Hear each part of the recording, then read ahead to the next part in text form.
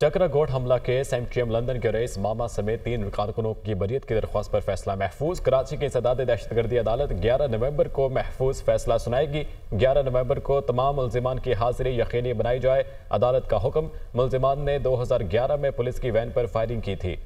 वाक़े में तीन पुलिस अहलकार शहीद और सताईस जख्मी हुए थे। चक्रागोट हमला case M Q M London के रईस मामा समेत तीन कारकुनों की बरीत की दरख्वास्तों पर फैसला महफूज कर लिया गया।